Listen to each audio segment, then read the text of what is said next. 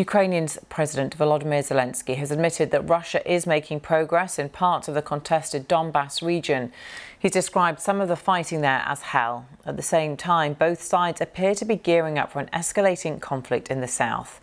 Ukraine is looking to take back the strategic city of Kherson before its Russian occupiers hold a possible referendum on its status next month. Our correspondent Andrew Harding has been to the front line just west of Kherson and sent this report an exposed road near the front line, Ukrainian trenches to one side, then the carcass like ruins of a newly liberated village.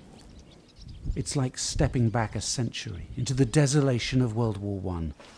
A world of underground bunkers and unpredictable skies.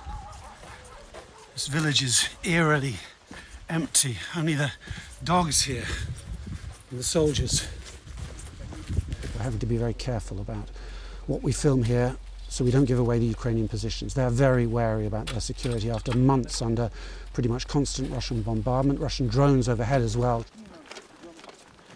But here, near the Black Sea coast, Ukraine is starting to claw back territory and to gear up for a much bigger push. A weary smile from a soldier named Phoenix, his unit has taken heavy losses here. We don't underestimate the Russians, he says. But the enemy is struggling with supplies and reinforcements now. Yes, we can feel that. Ukraine is certainly making lots of noise about an imminent counter-offensive in the south. Videos like this one trumpeting the destruction of Russian supply lines. And just across the front lines, in the strategic Russian-occupied city of Kherson, anticipation is growing. We spoke to this Ukrainian journalist who's hiding in Kherson and hoping the city will soon fall.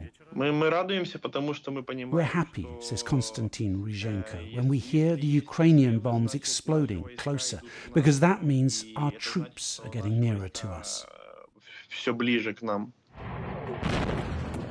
Perhaps they are. But remember, this is a vast front line, and both sides are trying to trick each other about their real military intentions.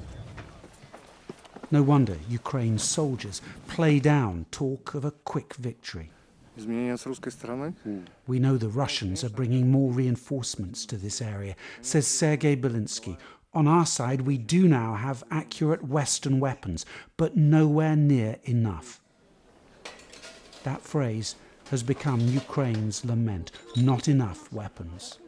And so for now, the Russian bombs keep falling in the south, on the front lines, and on cities like Mykolaiv.